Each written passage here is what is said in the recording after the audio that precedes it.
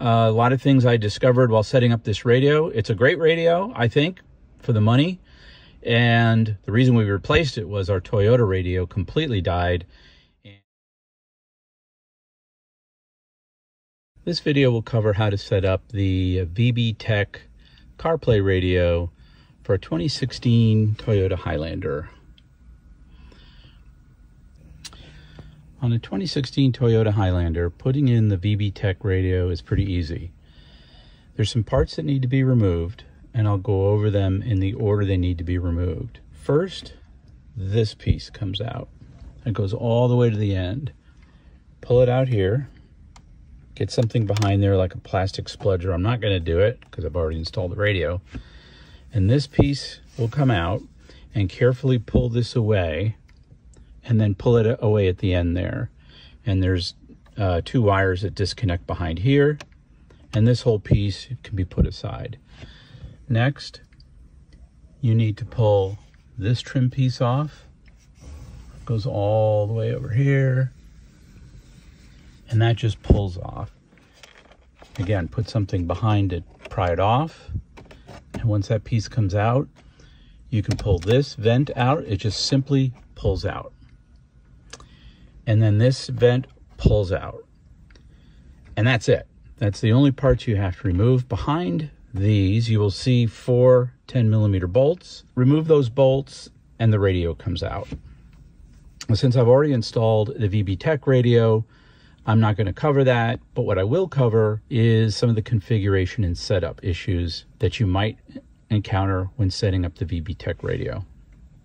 From the main screen, enable your Bluetooth settings.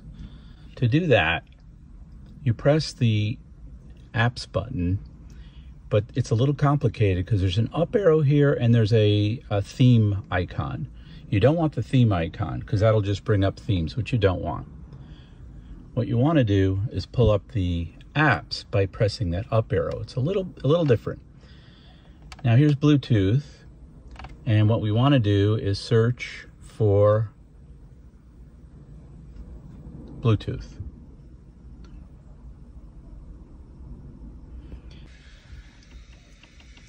It finds, when you hit the search button, it'll find all the Bluetooth devices in range. That's my phone. Uh, on your phone, you need to pair to this. So press the gear to find out the name of the Bluetooth. Here, you can see it's Car Kit Blink. And the pin is 0000. So let's go to CarKit Blink.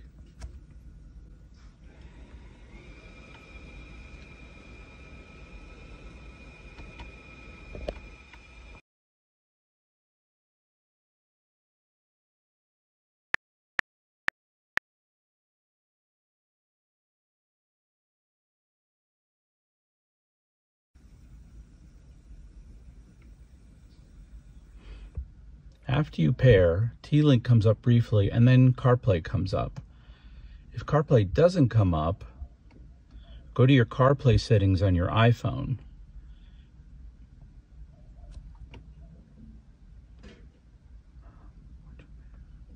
So there's a couple of things to watch out for that I found when installing this. Uh, first of all, there is a Wi-Fi signal sent out of this unit to start up for wireless Bluetooth. That wireless signal is called Android underscore and a bunch of numbers. If your phone, if you're in your garage pulling out and you have Wi Fi in your house, it can connect to your house Wi Fi and not to your Android local radio Wi Fi. That's not a problem you need to continue pulling out of the garage, go down the street. It'll lose the house Wi-Fi and it'll connect to its Android Wi-Fi. It's there's nothing wrong. It's the way the system works. Um, if you have a stronger Wi-Fi signal in the house, then the Android signal it will confuse it and it won't connect to CarPlay until you drive far enough down the street, and then it will. The other gotcha is I was having trouble connecting uh, partly because I didn't understand the house Wi-Fi issue. And I decided to do a complete reset, factory reset. Don't do this. But if you do, there's a couple of things you need to be aware of. A factory reset will clear out some of the settings that ViaBecs set up in your radio for your particular car. And one of them is the type of interface, in my case, the Highlander, Toyota Highlander. The other one is, seemed to be, for me, T-Link 5, the app, the launcher app, was completely gone. This was kind of a challenge. I had to go figure out how to reload T-Link 5 and get it running properly. Pulling down from the top screen, you can get to settings, and in settings, you'll see a whole bunch of menu items. In system, you'll see factory reset. Don't do that. Under system, you'll see factory. Tapping factory and entering one, two, three, four, five, six gets you into the factory settings. And as you can see, my model selected as the Highlander. Um, Simple Soft Toyota, all new Highlander Public. Now you can tap these and reset them. And if you do a factory reset and you have to re-enter these, this is what you want. You want 14 all new Highlander for a 2016 Highlander.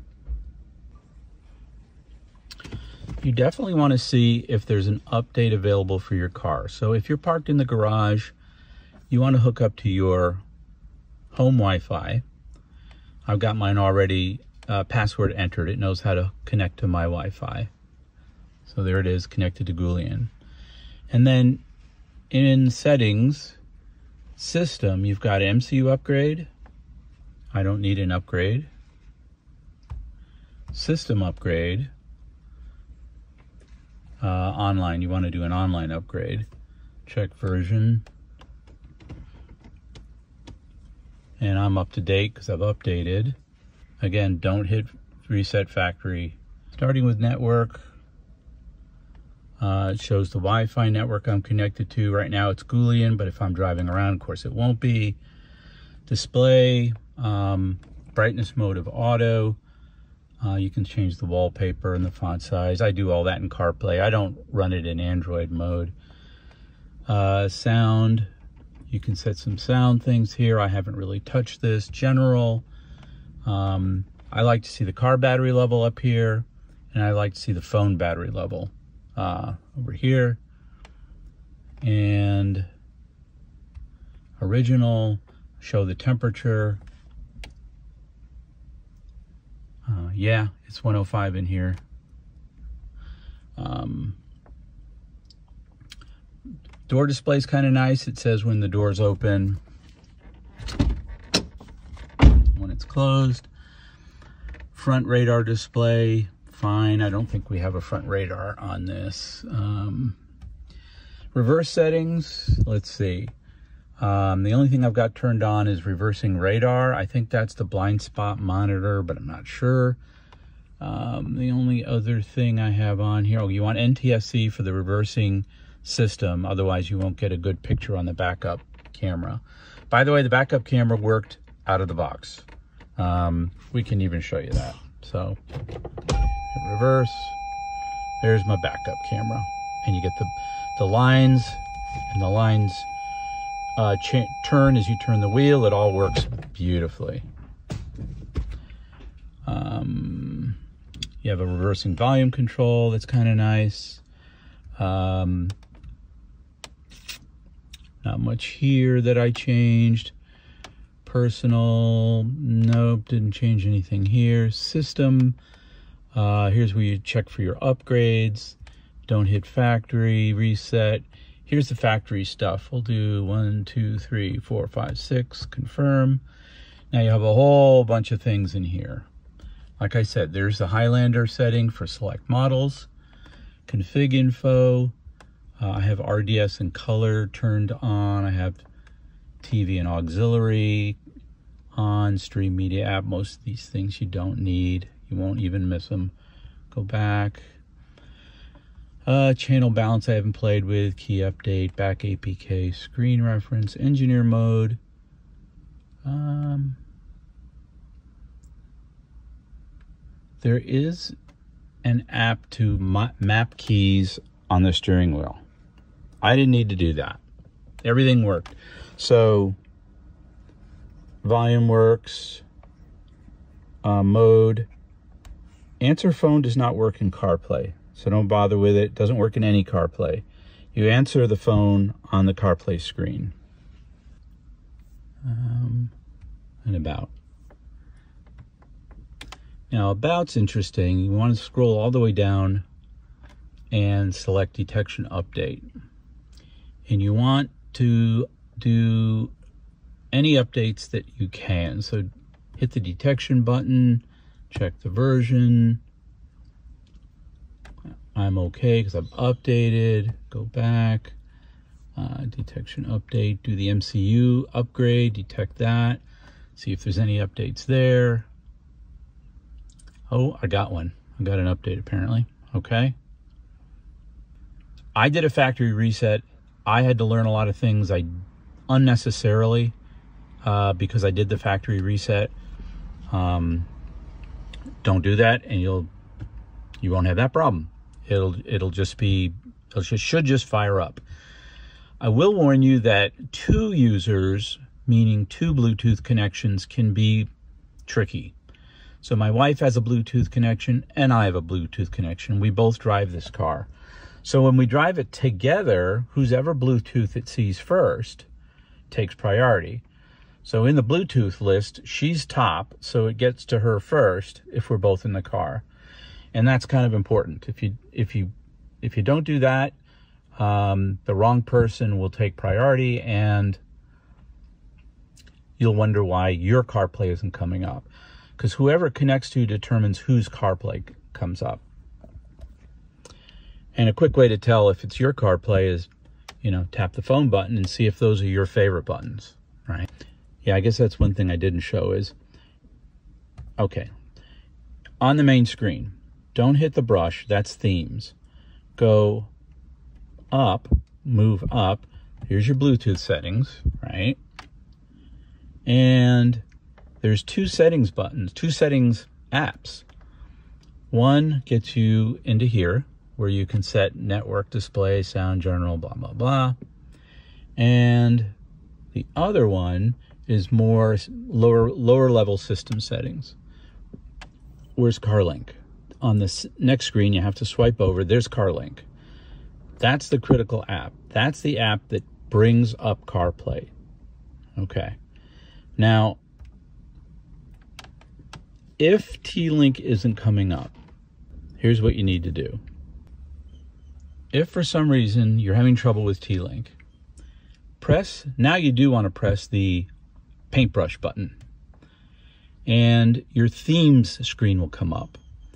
Now the theme that we have is the default theme and you tap that gear in the upper right.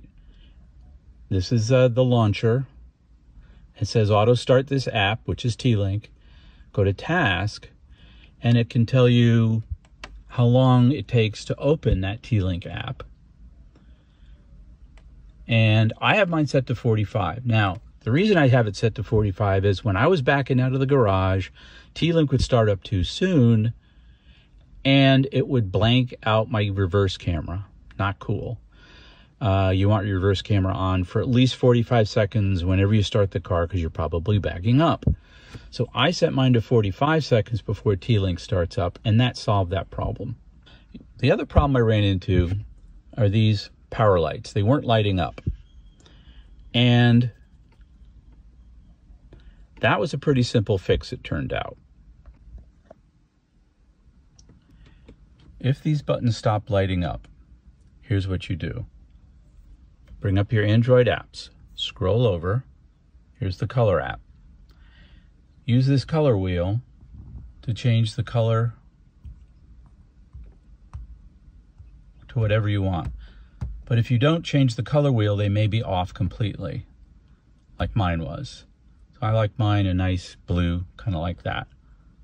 Again, T-Link 5 is an essential app to have in your list of Android apps. If that T-Link 5 is missing, uh, and when I did a factory reset, my T-Link 5 was missing. Uh, call the factory and and let them explain how to restore that app. But if you don't have that app, you don't have a launcher. And if you don't have a launcher, you don't have CarPlay. Here's another tip.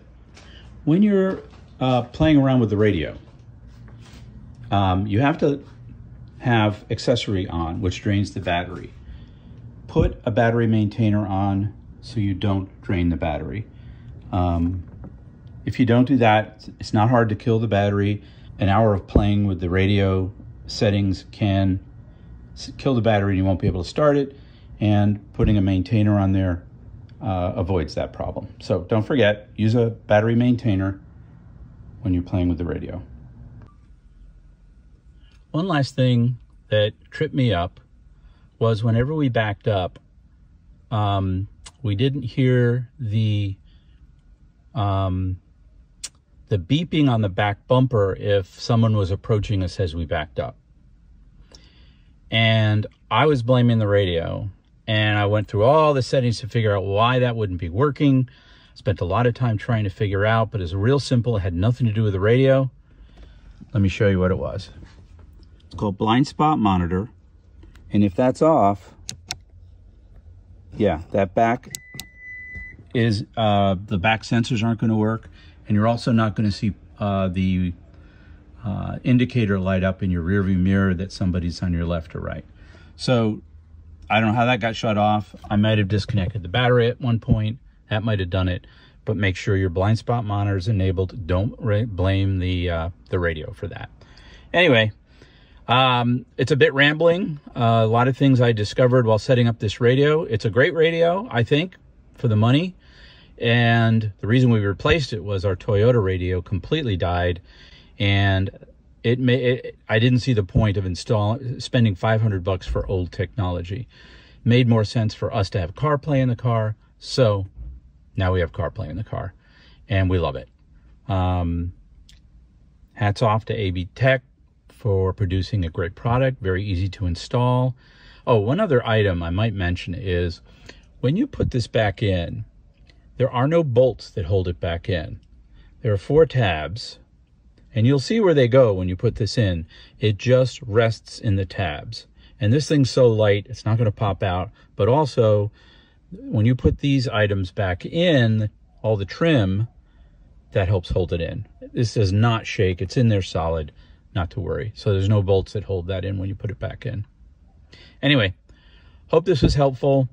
Uh, leave some comments below if you've discovered something I haven't, or if you run into problems, maybe I can help out. I can try.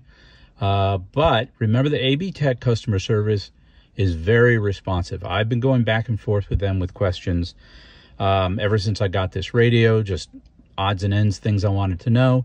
It takes them a couple days. They're in another time zone, but they do get back to you and they're very helpful. So use them. Anyway, that's all I have. And uh, this is Fix It Rick. See you in the next one.